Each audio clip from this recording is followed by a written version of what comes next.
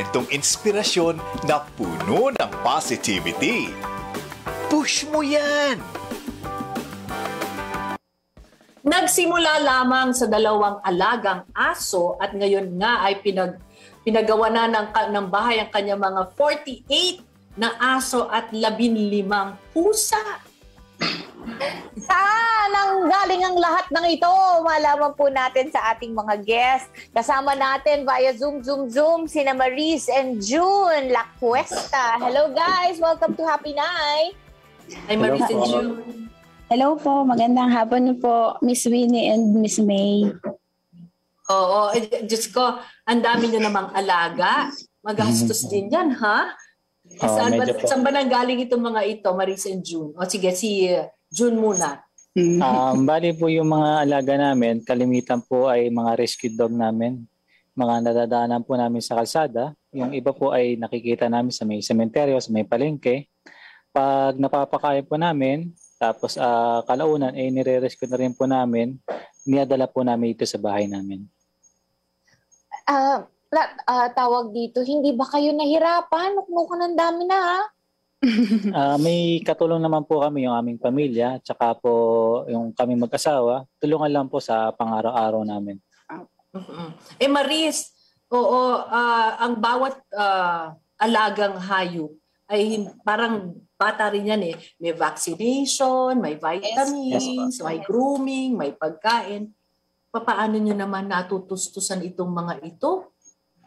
Ah, bali dun po kasi kami naman po ay pareho naman pong employed.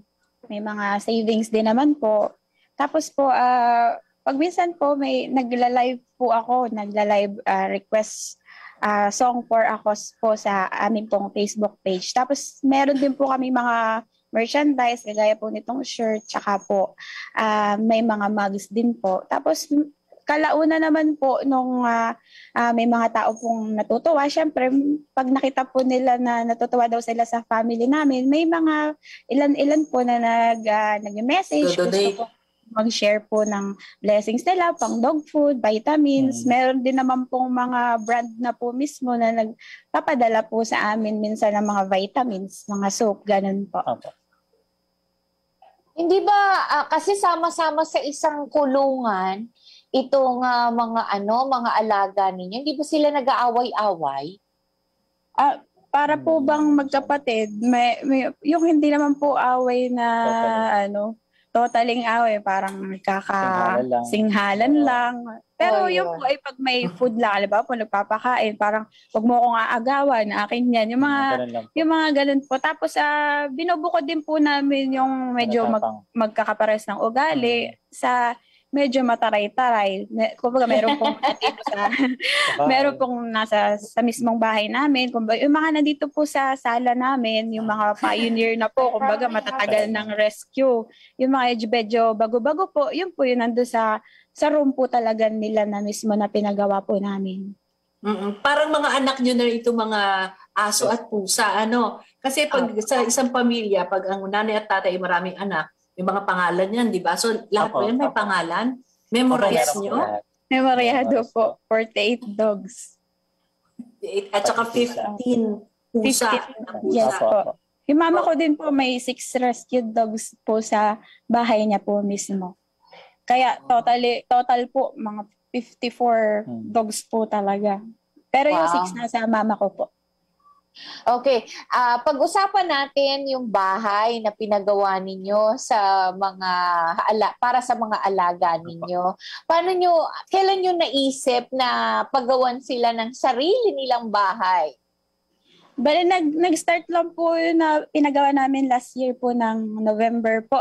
November 2021. Siyempre po, medyo dumami na po sila. Naisip namin na ng Ah, pagawan po namin sila ng sarili nilang room kasi syempre po mag-asawa kami, nagpaplano na din po kami mag-baby. So hindi naman po pwede lahat sila nandito sa loob ng bahay namin.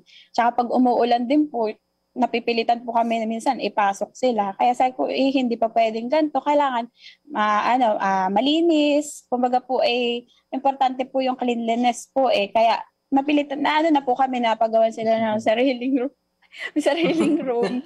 Tapos po, ah, sariling, ah, ano tawag, septic tank. Kumbaga, Aba. no, po, apa, para po, syempre, yung mga, sari, yung mga poops po nila, naka, Nakahiwalay. nakahiwalay din po. Oh, pinapati train nyo rin. May sariling inodoro, may sariling lababo, ganyan ba?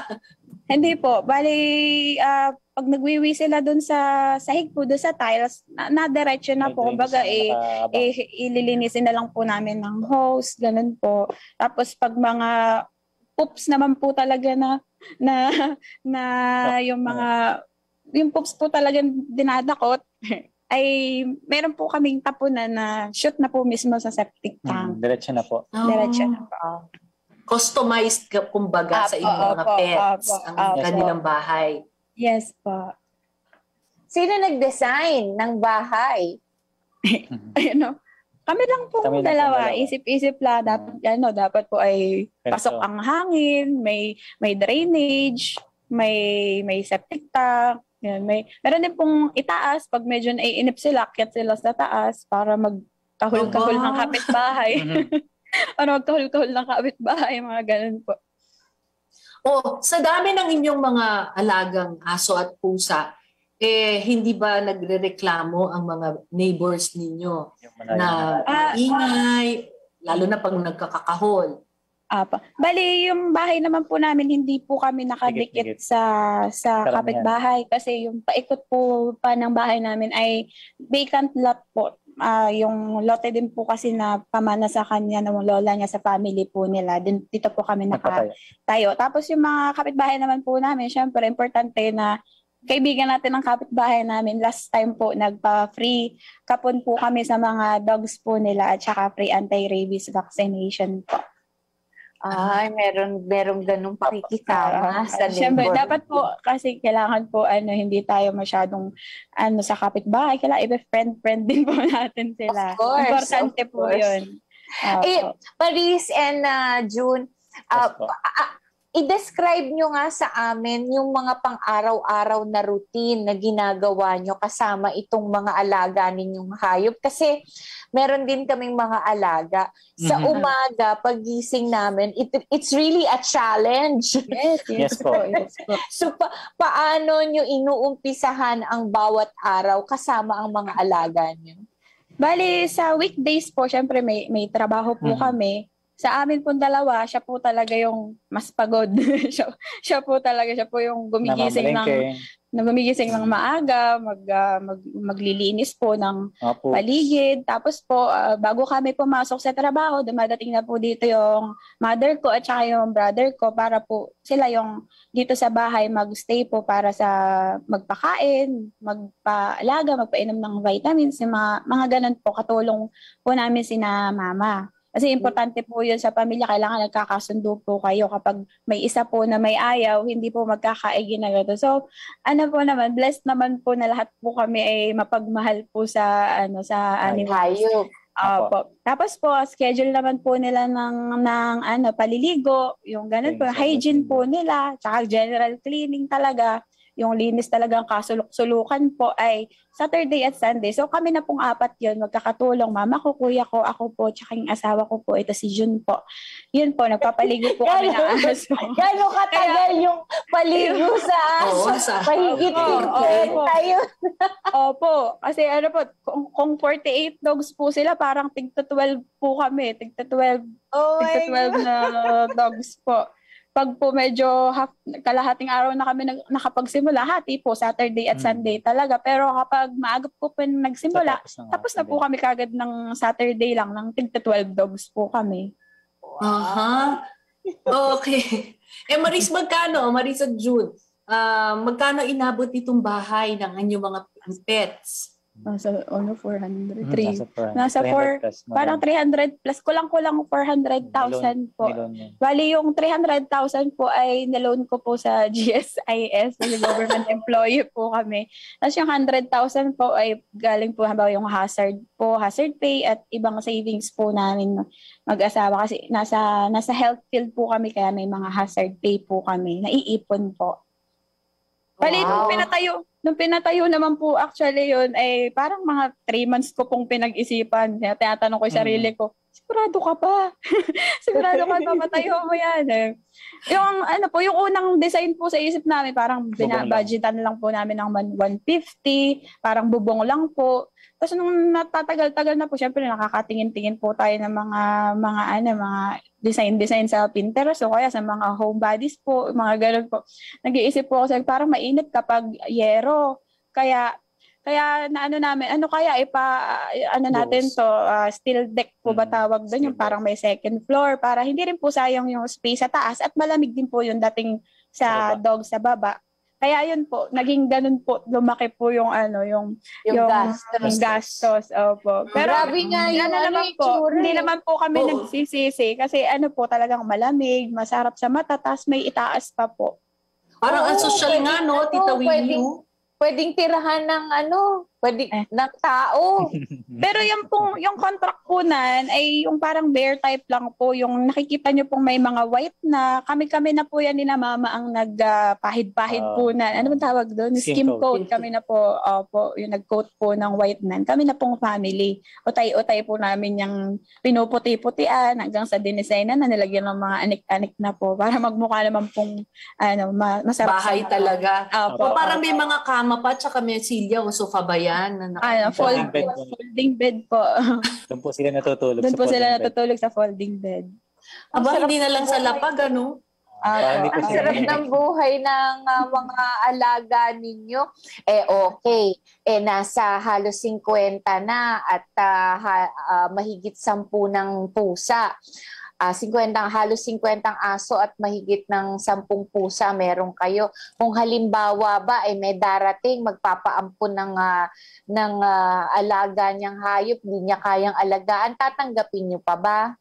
Bali, ang ginagawa po namin, Miss Whitney, ay pinopost na lang po namin na na for adoption doon sa page. Awa naman po ng Diyos ay di may mga nag-a-adapt naman po. Pero syempre, ni-screen din po namin. Kami na po yung nag screen kung talagang maaalagaan po. Kasi may na-experience na rin po kami dati na nagpa-adapt po kami. Ang ending po, ah, nabalitaan namin na napabayaan yung dogs, nagkasakit po, binawi po namin. Kasi ano na po, Mm. talagang hindi na po naging mabuti yung kalagayan niya.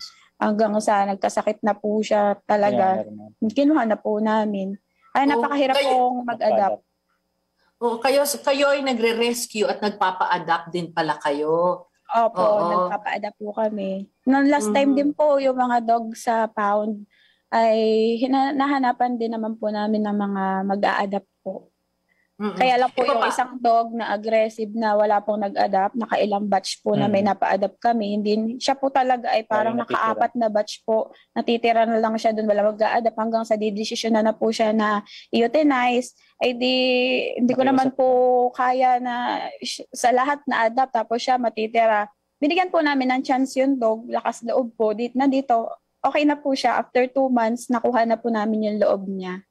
Ah, eh, para kayo mga magulang na maraming aso at pusa, pag may nagkakasakit ba, Mm-mm. anong ginagawa nyo? Hindi- parang vet tao ba yan, inihihiwalay bukod sa dinadala sa vet? Apo. Mm, bali, bali yun naman, bali yun, man- yun naman po mga sakit na tinatawag dito, yung mga nakakahawa po. Hindi naman po sila nagkakaroon ng ganun kagaya po ng distemper at parvo Parvo. kasi po sila ay lahat po va- vaccinated po sila adult na ng 5-in-1. Updated po yun yearly.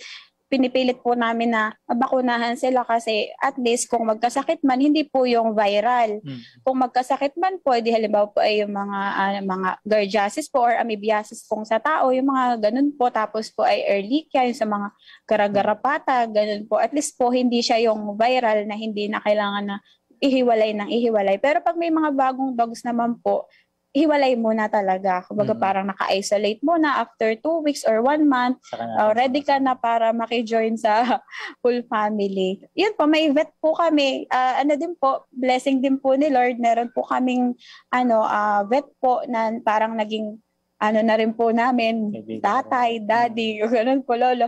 Pwede po bang banggitin si Dr. Ernesto Domingo po, napakabait po na vet. Paminsan nga po, pag nagdadala kami sa kanya, ay ano, hindi po siya nag, naniningil na. Pag minsan, kumbaga, Apo. yung gamot na lang po, wala nang kung ano-ano. Lalo po pag alam niya yung history ng dog, hindi po talaga siya naniningil ng ano ng ganun. Siya din po yung naging katuwang po namin nung nagkaroon po kami ng project po na free kapon. Siya po yung nag-sponsor ng lahat ng anti-rabies vaccine tapos parang yung gamot na lang po yung binayaran namin doon sa ah, anesthesia po ba ang pang-sedate po ng dog Pang-sedate na pang-kapon. Kaya po Nasa ano pusa. ah, napaka-generous po at napakabait po na tao ni Dr. Ernesto Domingo po. Very Yeah. good. Meron ba kayong alaga? Sa dami ng mga alaga nyo, meron ba kayong alaga na talagang napalapit sa inyong ah, mag-asawa na Hmm. parang uh, baga, Teenagers na. ka- ka- ka- kakaiba yung ah, ano yung ano tawag mo din? Attachment. yung attachment nyo sa kanya. Bali, bali ako po sa akin, bago ko pa siya ma-meet, meron na po talaga yung pong rescue namin ng mama ko po 11 years ago po. Si si Corey at si Chris Galan po, si Chris po ay namayapa na po nung last last year po kasi matanda na po, nagkaroon ng kidney failure. Bali si Corey, para 12 years ko na po siyang kasama. Siya po talaga yung dog na parang nagsimula sa kanya halos po kung bakit ganito po ako kalapit din sa aso kasi hindi naman po talaga kami mayamang pamilya po talaga. Kumbaga, nagsikap lang din po, nag-aral, nag, nagsipag, ganun po. Siya po kumbaga yung kasama din na nangangarap ka na para sinabi ko sa kanya noon na ay pag ano pag ako ay nagkatrabaho na nakaipon pa, ano papagawa tayo ng bahay tapos may bakuran hindi ka na nakatali ganyan ganyan parang parang nag-promise po ako sa kanya tapos eh hanggang sa utay-utay po naka nung naging kami na po nakakamit na po kami ng mga dogs na na abandon mga nasagasaan Mm. Yun po ay siya naman po kasi ay dog lover din talaga yung pati po yung family niya marami na rin po siyang dogs bago nung bago ko pa siya ma-meet kaya po siguro gano'n nagkasundo parang ano din po soulmate po Hmm, siguro medyo. pinagtagpo talaga ng Panginoon Oo, parang gano'n parang yung ano, parang yung pelikula Must Have Dogs. eh si June, meron ka Yes bang po. ano, ah, special alaga? Um, bali po O si favorite. teacher. si teacher palagi yung katabi ko pag tulog eh. Si, Sino sino? pag tu- si teacher po. Ti- teacher, Teacher po yung pangalan niya. Ah, Opo. Opo. guro sa Tagalog, teacher. Kasi siya po mismo yung, ay yung asawa ko po mismo talaga ang nakakita sa kanya. Mm. Bali po doon sa work namin, nakita po ng asawa ko na namumulot po ng basura. Okay. Ah, tapos Mhm. naawa po siya noon. Ah, bali, 27 po niya. 27 din po yun nung nakuha namin siya. Tapos ah, sinabi po namin sa guard na baka pwede namin maampon kasi kawawa naman namumulot lang siya ng basura. Hanggang sa kalaunan po marami pala siyang May kapamilya. pa pala siya. Ngayon po ay inadapt na rin po namin. Siya. After after three years po, pero bago po namin i-adapt yung buong Mm. family niya, ah, pinupuntahan po namin sila lunch or kaya ay sa gabi po kung kailan kami available po mag-asawa, pinupuntahan namin yung family niya doon kina Kuya Gar, di ko na po babanggitin Mm. yung office kasi nga po ay parang hindi po sila ma- napapakain talaga. Ah. Bali si Kuya Gart lang yung nagbibigay sa kanya. Kaya nung, nung dito po last 2021 din po Mm. yata January or February. Yun po, binalikan na po namin yung family ni teacher. Nandito na po sila ngayon after three years po ng paghihirap po nila. Ayun, may family na silang totoo. Oo. Eh, June at saka Paris. Anong pangalan? Maris, ma- may, dito sa background ninyo, sinabi nyo na sila yung nagiging dahilan kung bakit kayo nagiging matatag sa ang Yes, yes. sa pagsamahan sa pamilya, di ba? At Tsaka nag, sila rin yung dahilan kaya hindi kayo nauubusan ng pangarap. Eh, nangangarap na rin kayo magkaroon ng anak. Yes Mm, po. So. Pin, ah, tapos yung mga ano, nakakapag-ipon pa ba kayo sa pagdating ng inyong magiging anak dahil nag-loan ka nga ma- kamo sa GSIS? Ah, po-. Siyempre po, yung sa loan po, nakakompute po yan. Hindi naman sagad. Kumbaga, hindi po sagad. Nakaano po May yan. tira. nakahati-hati po. Tsaka Mm. siya din naman po, ako lang po kasi yung nag-loan. Mm. Siya naman po, wala naman po so far utang siya po. Ay di, yun po, may mga naka, may mga savings po kami para sa sa future po, para sa magiging sariling baby naman na po namin. Ayan po. Tapos ah, yun po, awa ng Diyos po, si teacher po, yung ah, favorite dog po niya ay nito po, last time nakuha din po siya sa isang TV TV commercial. Ayan po. Oh, Talaga? Yes Yes po. po. Parang gusto po Kumikita ng product na yun na. na Aspin po yung ano yung dog na kunin nila. May talent din naman po siya, natuturo-turuan po One, na. one, one plus one. Apo. Parang yun po Ah. yung ano nila, parang yun yung ano tawag din, Payback. ano nga, Ah, payback. ganti, parang payback po nila sa amin siguro kasi nabe-bless po sa mga ganyan eh. Hmm. Okay. So anong mensahe nyo dun sa mga iba pang mga gustong mag-rescue rin na katulad nyo? Anong advice ninyo? Mm. Sa mga ah, ah, gusto pong mag-rescue, unang-una, sinasabi ko na po, ah, kailangan po committed ka. Hindi pwedeng gusto mo lang mag-rescue, post mo lang sa social media, mag mm, mo lang na nakapag-rescue ka. Kasi after ng rescue, gumaling yung dog, yung kaakibat po na responsibility no, napakabigat po. Kailangan para ka talagang magulang po eh, alam mo kung may sakit siya o may nararamdaman. Hindi pwedeng hindi pwedeng nandyan ka lang, stay ka lang diyan, nakatali ka lang, hindi po hindi po ganoon kadali. Para kang nagpapalaki po ng ng anak tapos kung magre-rescue din po kayo, ah sana po kung hahanapan niyo din sila ng mag adapt kung hindi man kayo yung talagang kukup-kup dun sa dog, ah, siguraduhin niyo po na yung mapipili niyo po mag, mag-adapt doon sa na-rescue niyo ay ah yan po, committed, responsible, tsaka ano po, ah, talagang totoo po yung puso, Pagmamahal yung pagmamahal sa sa dog. Opo, importante po na mahal mo po yung ginagawa mo at committed ka po. Mm. Totoo naman Okay. yan. Okay, maraming maraming salamat sa inyong dalawa. Yan ang ating mga parents ng 48 dogs and 15 cats na and counting pa. Thank you very much, Maris and June uh, La Cuesta. Para Yes sa po, thank you po. Maraming salamat po. Maraming Thank you salamat po. you. Mga kwentong inspirasyon na puno ng positivity. Push mo yan! Oh, si nakikinig sa atin at nanonood sa atin si E.G. Bumagat at saka